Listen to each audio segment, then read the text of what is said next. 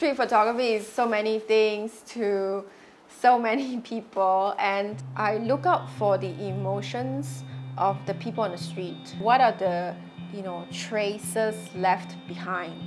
The street, right, presents to me a record of the times of our lives. You could write a book about the 80s, but when I present to you a set of photographs from the 80s, from the streets, that's going to be a different story. And that's a story that photographers can add value to humanity. Okay, what started out as a street photography intended morning um, turned into a portrait documentary sort of shoot instead. Because the rain was too big for us to go outside and also everyone just sort of filtered indoors. I think we started like meeting a few people at the coffee shop and that led to more and more encounters. One thing that is very common in my photography over the last 10 years, I seem to have some luck with nostalgia. 看他啊，不要看我啊！你跟他讲话可以吗？不要。去去去去去去。啊，这样。还有一只大大只的。哦。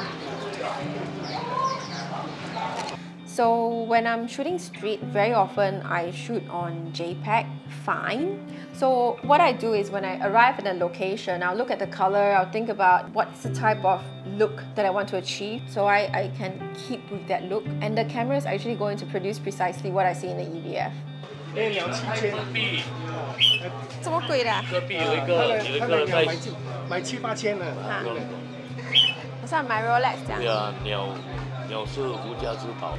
对，鸟就是每个人都是为了这个鸟啊，有些 花了很多钱啊。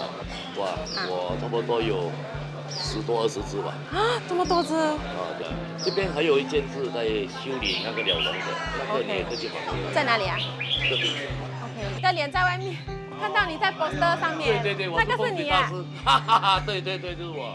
好了，黑哎，今天是黑哎。一二，再向前多一步，大一点。OK。OK 嘛？好。OK。Uncle, this is the first time I saw a 鸟笼 repair shop 哎。你要给我拍吗？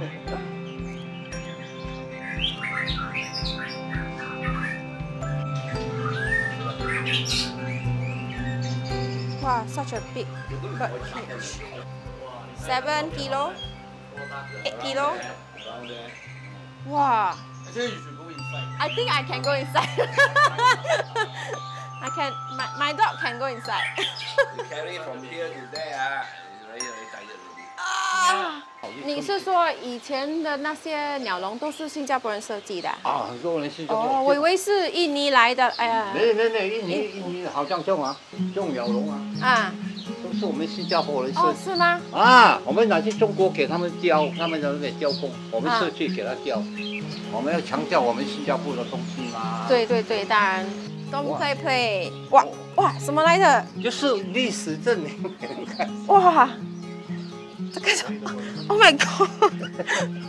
我还年轻时候很喜欢把这个资料拍你哈。哇，挺好好了。一九六五年我收到先，我把它剪出来的，剪下来。这些都是讲什么啊？这些报道？很多怪怪的东西啦。我我们有有这个笼中的财物啊。我们都是这个笼是我们新加坡人设计的，你知道？我们我买玩这种游戏差不多有一百年。我还没出世的时候，他们已经玩这个了。安哥，笑一个嘛，我吹气哈，可以啦，你要凶也可以啦，换一下 pose，换一下 pattern，啊，你自己摆，这样啊，好啊，你这样好啊。When you take the day off or when you take time off and you say, hey, today I'm going to walk on the streets, you often don't know what you're actually going to find. You go with what you find yourself attracted to. And I think you cannot escape from that. You know, you are who you are. Um, eventually, it, it just comes out in your photography.